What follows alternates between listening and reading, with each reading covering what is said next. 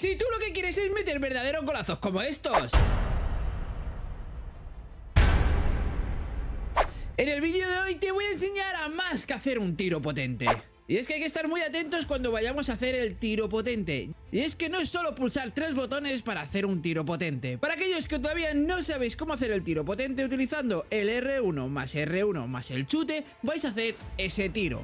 Pero cracks, seguro que a muchos de vosotros os pasa que hacéis ese tiro y se os va al limbo. Y decís, vaya mierda de tiro.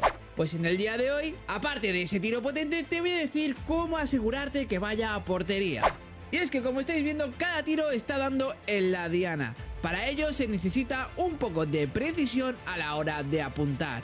Y es que el momento clave en el cual pega el zoom y parece que el jugador va a cámara lenta, tenéis que tener mucha precisión a la hora de mover el joystick. Porque si lo movéis demasiado, el tiro se va a ir fuera. Y si lo movéis poco, el tiro va a ir al centro.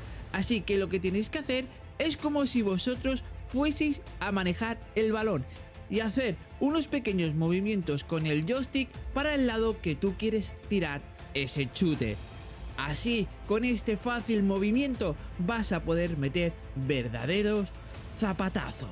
Aparte recordaros que no con todos los jugadores vais a poder chutar igual de fuerte Y para ello es muy importante que conozcáis los atributos de cada jugador Porque no cada jugador tiene el mismo tiro por ejemplo, este puede tener un buen tiro potente, pero si nos vamos a los estilos de juego, vemos que es más rematador y no tiene el zapatazo. Si tiene el zapatazo, chicos, no dudéis de pegar el tiro potente con ese jugador.